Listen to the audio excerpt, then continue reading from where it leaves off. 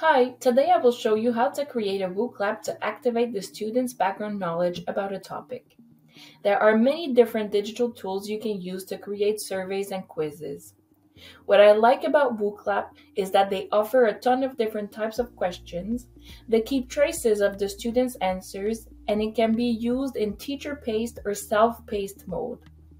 Also, it doesn't have the competitive aspects other types of quizzes have, and I think that for the purpose of activating prior knowledge, the competitive aspect could potentially steer the students away from the actual educational intention of the activity.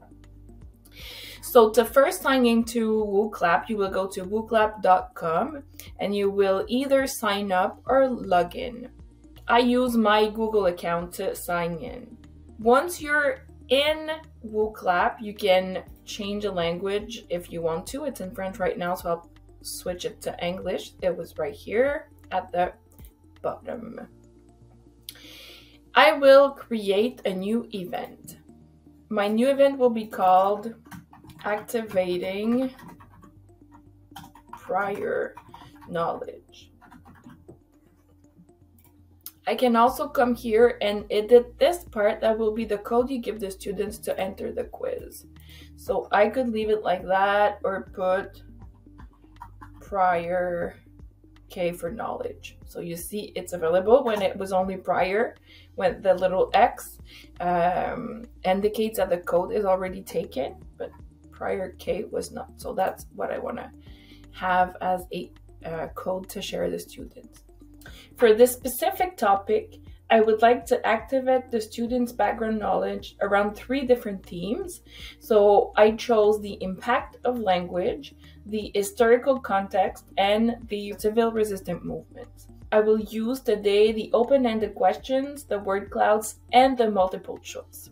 But as you can see, when you click on new question, um, there are tons of different types of questions that you can use. You can even have slides with information uh, before asking a question if you want. The spin the wheel I really like, but for this intention it doesn't really work. Uh, so we'll start with the multiple choice question, the open question, and the word cloud is the three questions I will use today.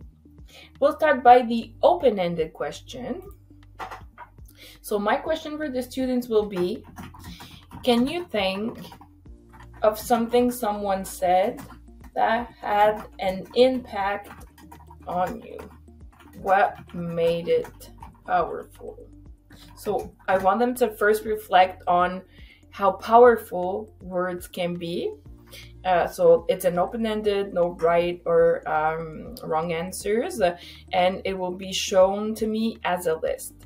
I can decide that a student can put in multiple answers.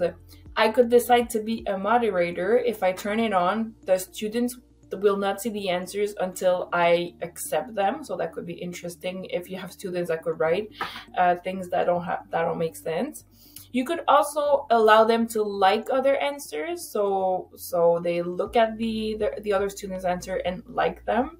They could put it images for this purpose i don't think it's useful.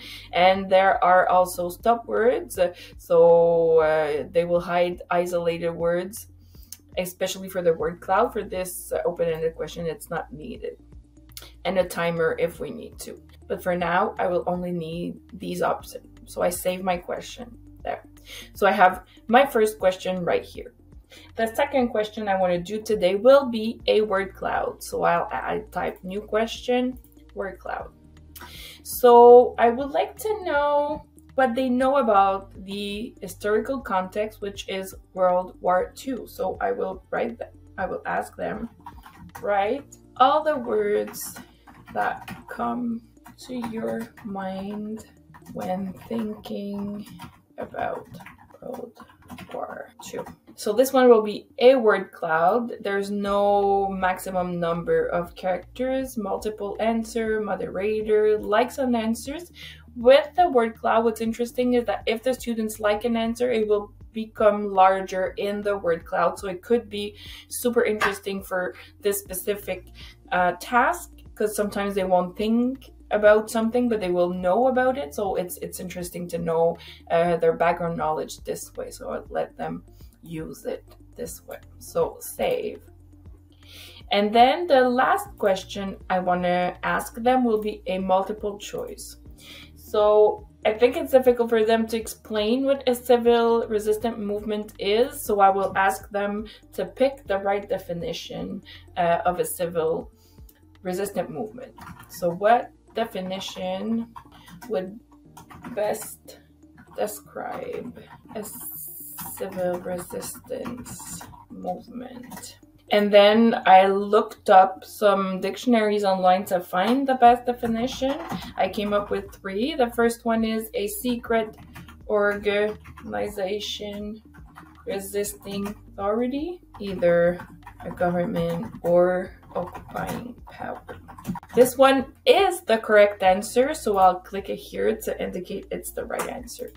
I will also write two other definitions of resistance, but they're other types of resistance. The second one is the term resistant used in science. So it's completely different of a civil resistant movement. So a measure of opposition to current flow in an electrical circuit. There you go. And the third one is also a real definition of resistance, but not of a civil resistant movement. So a lack of sensitivity to a chemical such as an insecticide as a result of exposure or genetic change. Again, uh, I could decide to have the multiple answer on. I don't think I will for this because I want them to only answer once. It will be shown uh, on the, the screen like this. So we'll see we, which answer has the most, um, the most picks.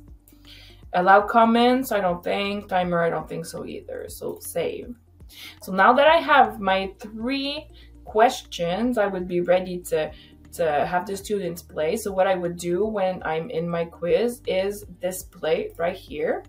When I click display, the students will know they have to go to WooClap to use this code and I will swipe through the questions like this for them to start answering. Here I have the option to hide or let the students see the answers as they're writing them. So I could hide them and only show them at the end. So I can go and see all my three questions. So I don't need, I don't have anyone answering right now. I'll go back to my quiz. Another thing that's interesting, if you go to the setting of your quiz, you can activate the authentication of your students. So right now, anyone could take the quiz without giving me their names. It would be anonymous. So if you do it with students, I, uh, it would be uh, interesting to activate this participant username. Uh, and then you have the competitive mode. I don't want that. And then you can make your uh, quiz shareable to other teachers by clicking this little option here. So you let other user create a copy of this event by using this code. That's what I did because I want you to be able to create a copy if you want to use it with your uh, students. You could also add collaborators if you want to be more than a, one teacher working on the same document. So this is how I would use WooClap to activate prior knowledge with my students. I hope this helped. Thank you.